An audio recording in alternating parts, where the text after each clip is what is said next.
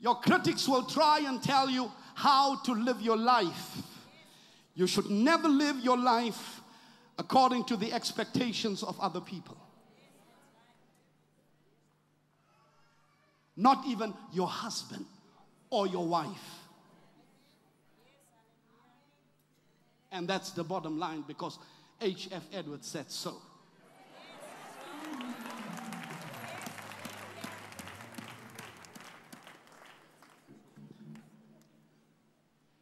Got to be true to your own self. You've got to be real to your own self. You roll up your sleeves. You look at the vision. You say to yourself, I'm going to do whatever it takes. I'll get the job done. Don't shortchange yourself. Don't settle for mediocrity and average. Don't become dependent on the accolades of people. Ah, you know you're so wonderful. Ah, you know you're so pretty. Ah, you know you're so gorgeous. Ah, you did well. As soon as you feed off of the accolades of men, the applauses of men, the day they want to punish you, they keep quiet. They don't say you're pretty anymore. They don't say you're gifted anymore. They don't say you're vivacious anymore. They don't say how able you are anymore. Why? Because they want to punish you. They want you to change your mind. They want you to change the direction and the course of your life. And in order to propel and push you, they make sure that they take away from you that which you've become dependent on. If people clap hands, so be it. If they don't clap hands, so be it. If I had to go according to the voices of my critics, I would not have stood here today. There are people that does not know me that don't like me. They've never engaged me. They've never seen me. They've never talked to me. They, Freddie Ed, oh my God. Why? Because of my critics. I was in a meeting on the 27th at the school, and there I saw such stupidity and such foolishness. People were fighting someone else's battle. People got themselves in a situation where their fight was not directed against the principles, their fights were directed against a person. Everybody ignored the principle and focused on me. Say, yeah, you love money. That's why you want the school to run as a business. The school is a business. I have to pay salaries.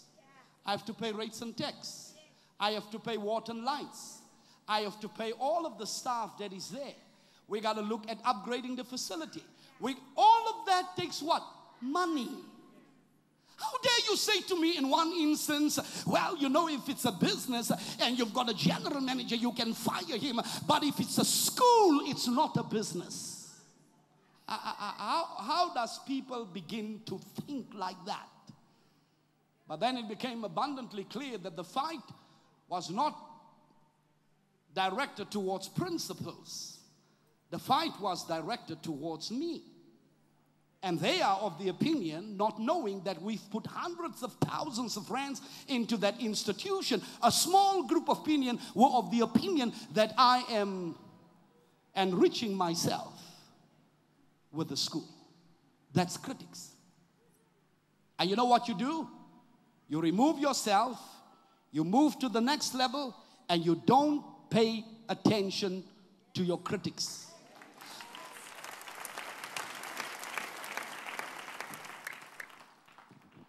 Never make your critics so important that you give them time. Listen to them. Well, food I didn't say that.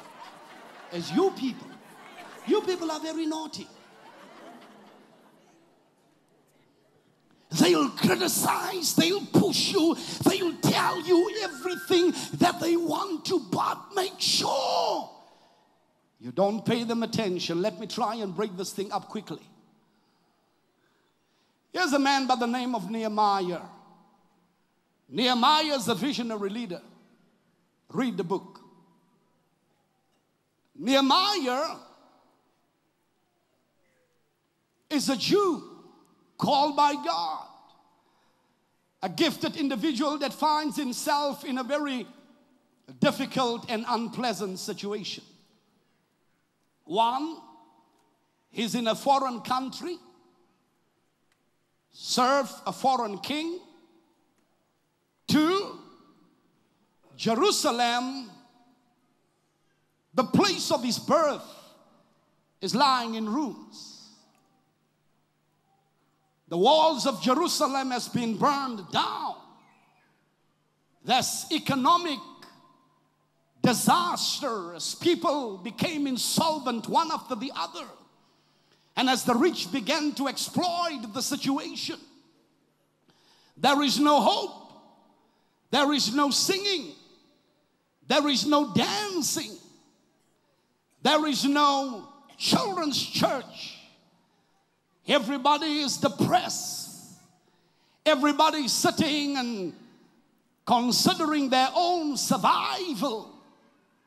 Jeremiah, who is a cupbearer, comes before the king, perplexed and troubled by the condition, the socio-economic conditions that's prevailing in Jerusalem. And the Bible says, when the king looks at him, the king asks him, Why do you look so sad? He says to the king, My heart is sad because I come from Jerusalem. And I've received word that Jerusalem, the city of God, is lying in ruins and her walls has been destroyed. There is no worship, there is no sacrifices that's going up. Everybody's living for themselves. The rich is exploiting the poor. The poor has got no defense whatsoever. The worship of God ceased to exist. If it pleases the king, will you please let me go to Jerusalem in order to go and rebuild the walls? The king asked him, How many days do you need? And he tells the king, Well, I think the project is going to take so many days. He says to the king, If it please the king, will you please give me letters of support and endorsement? And the king gives him letters of support and endorsement. You see, child of God, you need to understand that it only takes one person to make a difference. You don't need to be bogged down you don't need to subscribe to the notion that majority rule. One man with God, one woman with God is still a majority. You can still make a difference. You can still make a meaningful contribution towards the affairs of the agenda of the kingdom of God. If everybody in your family failed, you don't need to fail. If everybody in your family is down low at the bottom, you don't need to be down and out. You don't need to be at the bottom. You can lift yourself up. Why? Because God is able to do far above, exceeding abundantly beyond all that you can ask, think, according to the power that works on the inside of you. You've got power, you've got gifts, you've got ability. There is more for you than what there is against you. All you need to do is don't pay attention to your critics. All you need to do, don't pay attention to your cynics. But like this man Nehemiah, you've got to look at the vision and push yourself.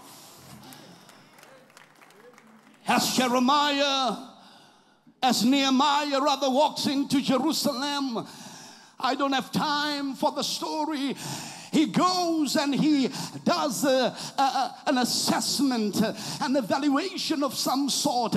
He goes through the entire region and he makes notes. Read the book, it's a very interesting book on strategic leadership, visionary leadership, the ability to plan, the ability to mobilize, the ability to get people to move from a place of laziness to a place of work, the ability to facilitate process that leads to justice and equality, the ability to make sure that those that were exploited are brought into right standing and that justice prevail. Read the book of Jeremiah and Nehemiah. Here Nehemiah comes and he begins after he's done his assessment, he begins to mobilize the people of God. Now at this point, the people are all sitting in depression.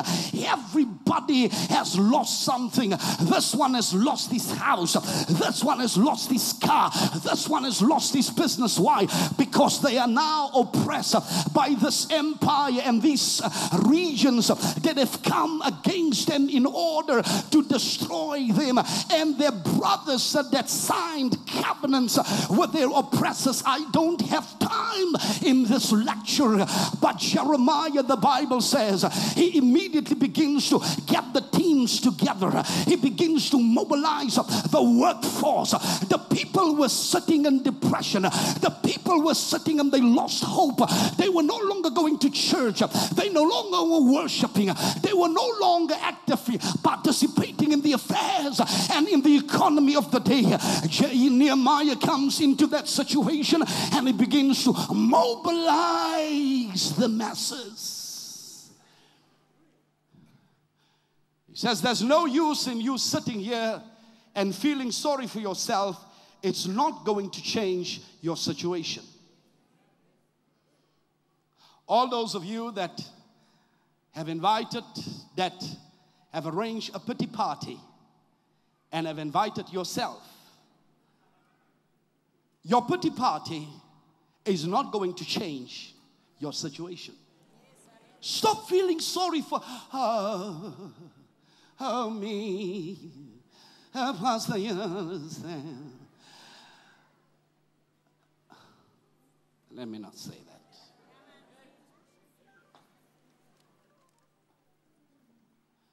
Some of you are pushing people away just with the way you look.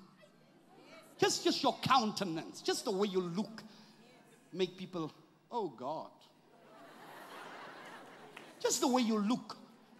Just the way your countenance—that there's no smile, there's no warmth, there's no friendliness, there, there, there's no excitement, there's no enthusiasm, there's absolutely nothing. You want everybody to feel sorry for you. The world doesn't owe you nothing. I don't owe you nothing. Your mother, your father doesn't owe you nothing. Some of you, the reasons why you can't get husbands is the way you look. Truth. And some of you men, the way the reason why you can't get good wives is the way you look. All sloppy and stinking and unclean and unneat and you negative and everything that comes out of your mouth is negativity negativity. You don't have a job you don't have a vision you don't have something that you work and march towards to. You think everybody owes you. Becomes a parasite living off of the blood of other people. You should be ashamed of yourself. The bible says a man that does not work should not eat